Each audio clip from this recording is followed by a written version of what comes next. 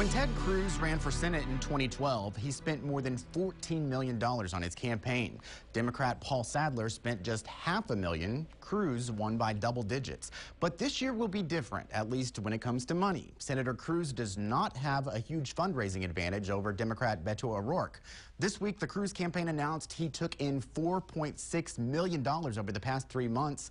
That's up from the previous quarter, but it's less than half the fundraising haul for O'Rourke's campaign. He brought in more than $10 million in donations. That's his biggest total so far. O'Rourke says he will not take PAC money, relying instead on individual donations. That's not normal for a major campaign. Still, the fundraising strategy seems to be paying off. After this last quarter, O'Rourke moved ahead of Cruz in the money race. Cruz has more than $10 million cash on hand.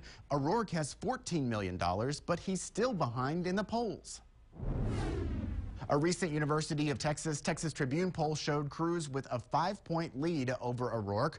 Other polls show the Democrat trailing by double digits. Let's turn to our panel for perspective. James Barragán covers Texas government for the Dallas Morning News, and Patrick Svitek reports on politics for the Texas Tribune. Welcome. Thanks for having us. Thanks for having us. So how important are these numbers right now?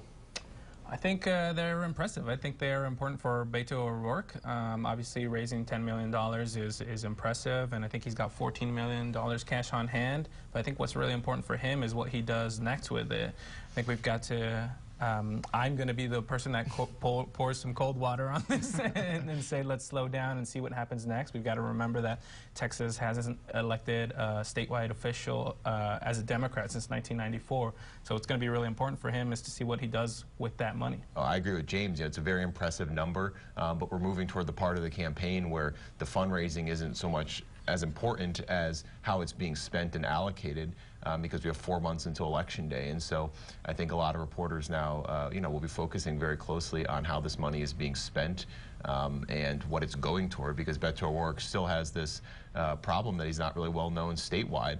And you have a few options going forward to solve that problem. One of them is to air TV ads, um, which he's been somewhat uh, ambivalent about and hasn't necessarily uh, committed to, or at least committed to doing as much as previous candidates have. And so I'll be watching very closely to see how that money is spent. Mm -hmm. And he's done a good job so far of doing the Facebook Lives, to going to the little cafes right. in, in, red counties, you know, right. getting those small uh, uh, amounts and small crowds that really have gotten him those national headlines of Beto will go anywhere. Beto's going to Facebook Live every single thing. But really, it goes to Patrick's point of like, can he get that money and make that money work for him in terms of statewide campaigns or, or campaigns for TV in big markets um, where he maybe isn't so recognizable. And that's going to be tough because he's promised not to take PAC money. Right, yeah, he's promised not to take PAC money. He hasn't reached out to the DNC. He's not working with political consultants. What's the strategy there?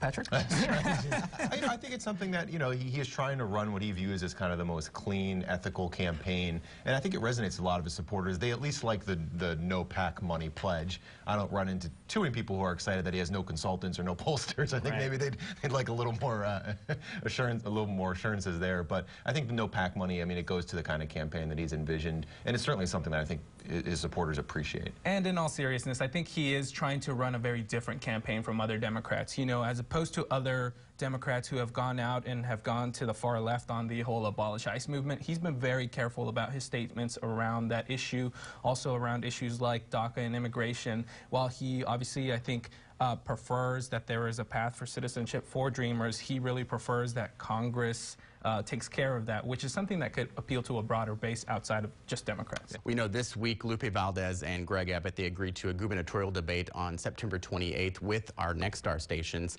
I wonder how does the O'Rourke and the Cruz effect really impact races like that and other races down the ballot? I think from the beginning, uh, you know, politicos and experts have called the Cruz-O'Rourke race the marquee race. Um, I think uh, Valdez joining the fray and her being the candidate against uh, Governor Abbott has really gotten a little bit more attention.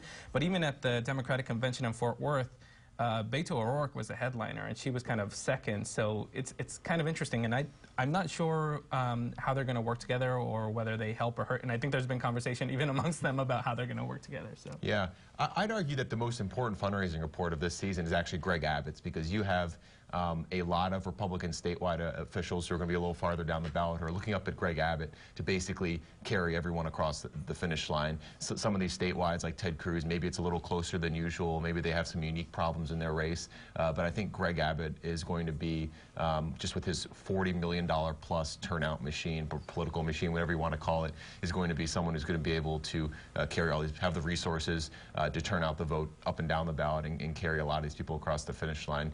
Um, I'm sure they'll do well on their own, but he'll be there to kind of reinforce uh, the ticket. Patrick, James, thank you very much. Thank you.